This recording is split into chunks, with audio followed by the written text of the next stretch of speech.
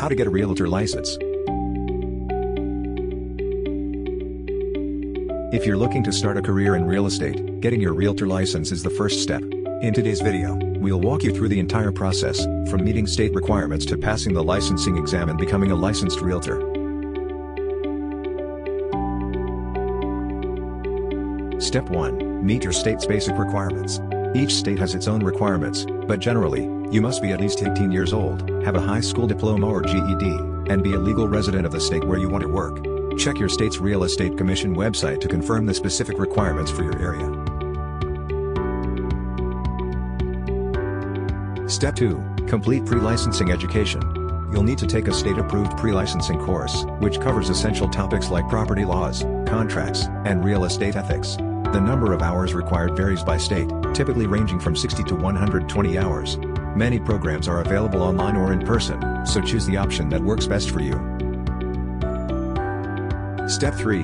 Pass the real estate licensing exam. After completing your coursework, you'll need to pass the real estate licensing exam, which is divided into two parts, a national section covering general real estate principles, and a state-specific section on your state's regulations. Make sure to study thoroughly, using practice tests and exam prep courses to boost your chances of passing on the first try.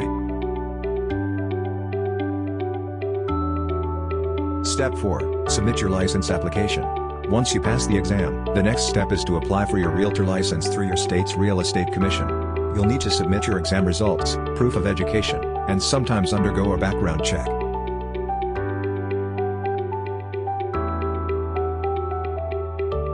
Step 5. Find a licensed real estate broker. In most states, you'll need to work under a licensed real estate broker to officially activate your license. A broker can provide mentorship and help you gain practical experience as you start your career. Take time to research brokers who align with your professional goals. Step 6. Join the National Association of Realtors. To earn the title of Realtor and gain access to exclusive resources, consider joining the NAR. Membership is optional but highly recommended, as it can help you build a professional network and stay up to date on industry standards. In summary, getting a realtor license involves meeting your state's requirements, completing pre-licensing education, passing the exam, and working under a licensed broker.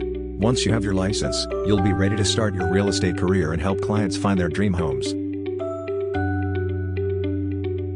Thanks for watching. If this video helped you understand how to get a realtor license, be sure to like, share, and subscribe for more tips on starting your career. Got any questions? Drop them in the comments below.